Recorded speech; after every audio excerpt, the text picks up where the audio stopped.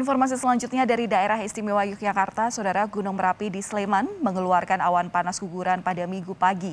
Jarak luncur guguran awan panas sejauh 2 km ke arah hulu sungai Bebeng, Sleman, Yogyakarta. Ini adalah visual amatir yang direkam atau yang merekam detik-detik Gunung Merapi mengeluarkan guguran awan panas pada minggu kemarin. Guguran awan panas ini mengarah ke barat daya atau ke arah hulu sungai Bebeng, Sleman.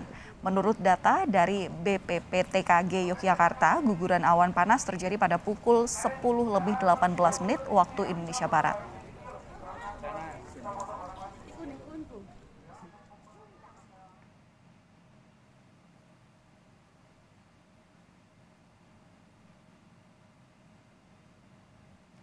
Balai Penyelidikan dan Pengembangan Teknologi Kebencanaan Geologi menjelaskan Merapi sebagai gunung api aktif juga tercatat mengeluarkan guguran lava pijar sebanyak tiga kali dengan jarak luncur maksimum 1000 meter ke arah barat daya.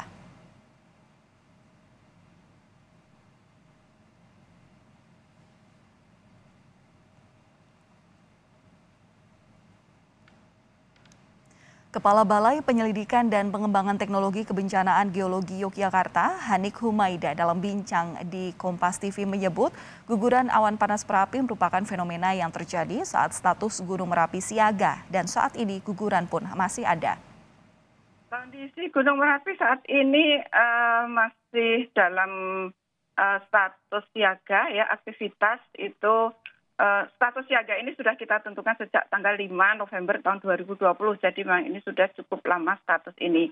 Jadi kejadian awan panas, kemudian uh, guguran lava ini merupakan uh, fenomena uh, yang terjadi pada saat uh, status uh, siaga seperti ini. Dan saat ini guguran masih ada, ya, jadi artinya uh, apa aktivitas masih cukup tinggi di Gunung Merapi ini. Namun awan panas terjadi hari ini uh, apa satu kali ada tadi pagi gitu. Uh, jarak luncur awan panas hingga guguran awan panas hingga 2 km ini daerah mana saja Bu Hanik yang perlu diwaspadai?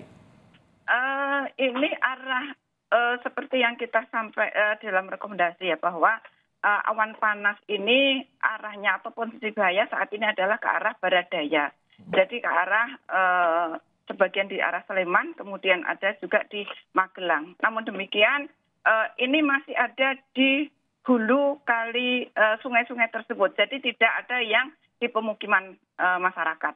Jadi potensi 5 km ini belum sampai ke pemukiman masyarakat.